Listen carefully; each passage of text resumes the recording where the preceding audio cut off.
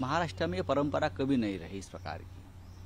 महाराष्ट्र के संस्कृति, परंपरा, राजनीतिक हो या सामाजिक हो कभी रही नहीं। लेकिन आज मैं कैमरे के सामने बोल रहा हूँ, महाराष्ट्र का मुख्यमंत्री बदलने जा रहा है। महाराष्ट्र को नया मुख्यमंत्री मिलेगा। एक नाथ शिंदे को हटाया जा रहा है।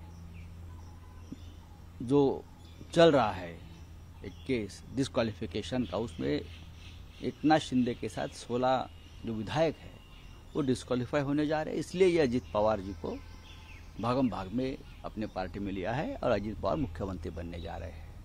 लेकिन इन सब के बीच आपको नहीं लगता कि महाराष्ट्र में जो आयराम गैराम का पॉलिटिक्स चल है चला है। दिनों में भी चलता ही नहीं ये मोदी जी मतलब की ये- ये मोदी और शाह जी की देन है। ये इस देश की राजनीति को हम उनसे उम्मीद कर रहे थे नैतिकता की एक अच्छी राजनीति की जब सत्ता पे आए। कांग्रेस इसलिए तो हार गई और उनको वोट मिला। लेकिन आप तो कांग्रेस से भी बेहतर काम कर रहे हो बेहतर काम कर रहे हो। तो ये आराम गराम की नई राजनीति शुरू की है लेकिन जनता सबक सिखाएगी।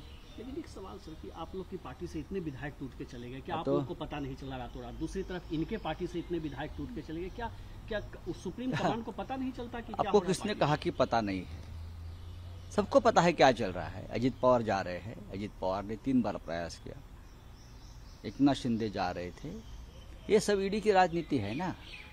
मैंने कहा ना ईडी सीबीआई इनकम टैक्स अगर हमारे हाथ में दो घंटे के लिए दीजिए, हम भी राजनीति बदल देंगे महाराष्ट्र और देश की।